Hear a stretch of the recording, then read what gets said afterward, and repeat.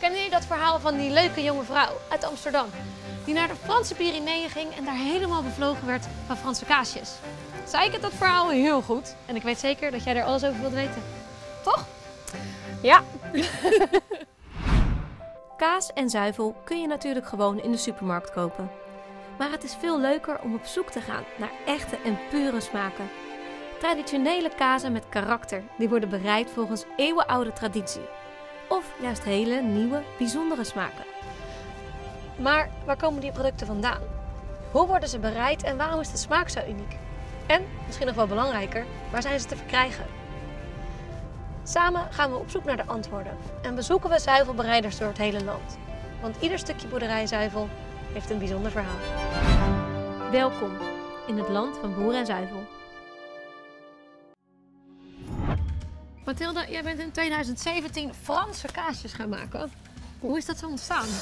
Ehm, het kwam eigenlijk omdat ik op mijn vijftiende eh naar een uitwisseling ging en de Franse taal begon te leren. En vanuit daar is eigenlijk mijn liefde een beetje voor kaas, Franse kaas ontstaan. En ik heb een studie gedaan aan de Universiteit van Amsterdam omtrent duurzaamheid en bodemkunde. En dat was allemaal heel complex en de problemen die we hebben met klimaatverandering en hoe gaan we daarmee om. En toen dacht ik, ja, hoe kan ik nou iets concreets proberen te veranderen? Ja, Door eh, de boer beter te betalen, kan de boer ook op een andere manier boeren.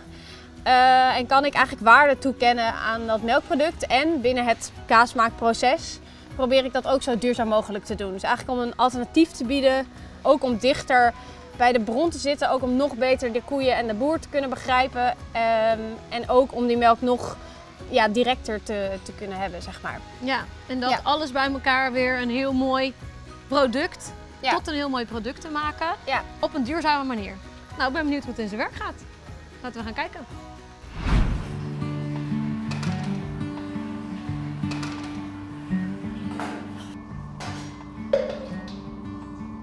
Hey, Mathilde. Hoi! Hallo. Hey, dit is dus hoe jouw kaas begint. Eh, nou, dit is eigenlijk de melk eh, van gisteren. Direct dat hij gemolken werd, eh gepasteuriseerd. Vervolgens aangezuurd en gestremd. En dan blijft het eigenlijk een hele nacht. En nu is het ha- hard geworden, zoals je ziet. En ik snij eigenlijk de vogel niet. Dus blijft...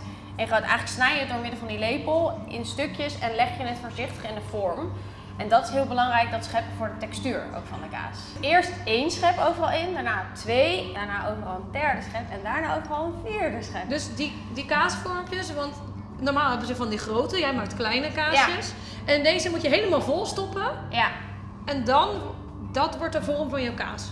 Ja, en dan draai je hem nog een aantal keer in die vorm, maar dat is bij kaas eigenlijk altijd. Ja, maar het idee is dus wel hetzelfde. Dus je hebt wel ook losse stukken en dan wordt het één kaas. Ja, ja, dat wel. Alleen zijn ze veel groter.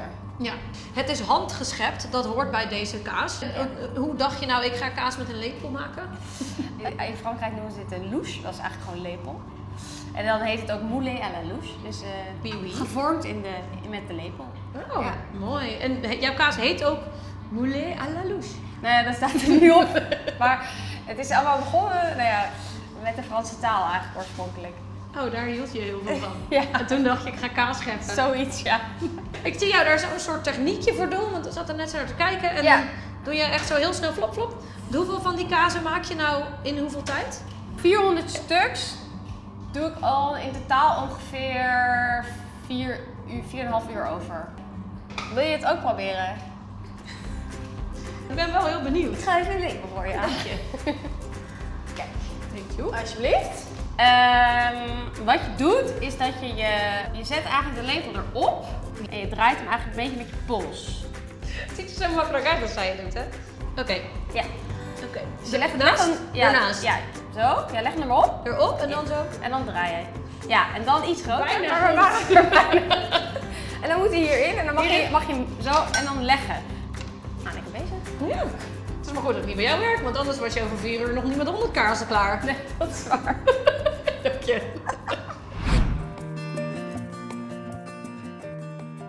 Nou, daar liggen ze dan, hè? Jouw Fransjes. Ja, je- zeker. Ja, mijn baby's. Maar we zijn nu in de rijpingskamer. Het Ja. is hier echt super koud trouwens. Hoe koud is het hier? Eh, 10 en- tussen de 10 en 12 graden. En een hoge luchtvochtigheid. En dat is eigenlijk het beste voor de ontwikkeling van de schimmel.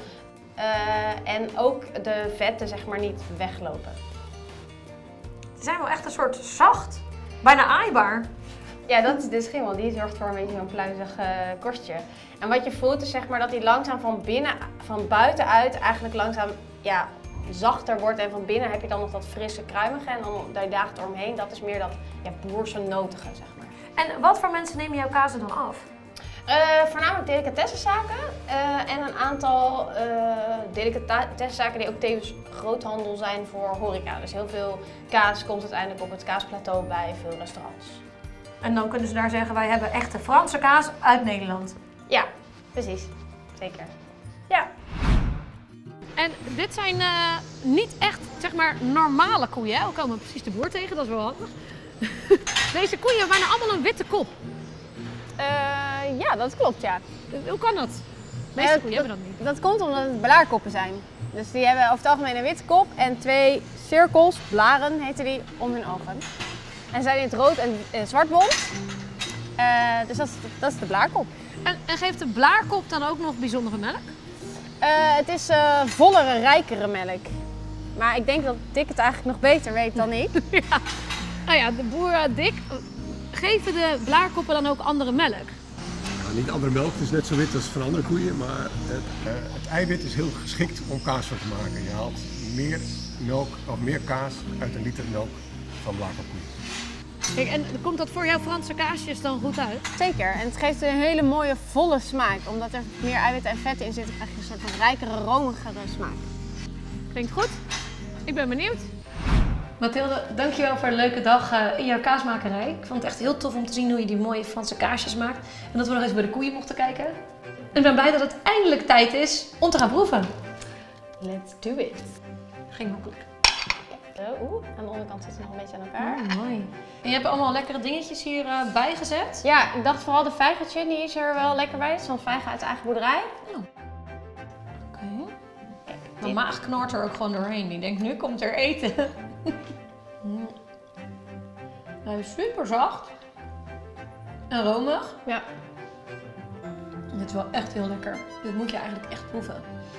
En als je nou meer wilt weten over boerderijzuivel, zoals kaas, jong en oud, yoghurt, hangop, kwark, ijs of dan die heerlijke Franse kaasjes van Mathilde, ga dan naar boerderijzuivel.nl. Bedankt voor het kijken en tot de volgende Boer Doei! Oké. Oh maar ik proef echt... ik heb net de vijgen chutney ook hier gegooid. Ja.